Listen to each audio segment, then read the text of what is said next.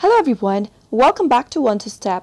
Today, I'll be helping you learn how to share clickable links on WhatsApp status. Before proceeding further, if you are watching us for the first time, subscribe to our channel by hitting the subscribe button. Press the bell icon so that you'll be notified as soon as we post a new video.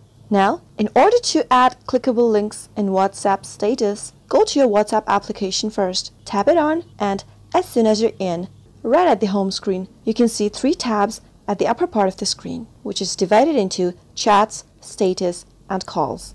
Tap on status and tap on the floating pencil icon at the bottom right. Here, you can enter any URL that you want to post on your status. You can change the background color and font of the text by using these icons present at the bottom. Go to any link that you want to post. Let me show you by posting a video link to copy the link from a particular video, select the video and open it and tap on the share button. Tap on the copy link icon and this will copy the link to the video and go back to WhatsApp. Simply paste the link right in the type a status box and you've successfully pasted the link. Tap on the send button at the bottom right and from the pop-up select send. Now if you click on my status link, you can see the link right there. Simply tap it on once and the link has been popped out. Select the link and doing this will take you to the video that you copied the link from earlier.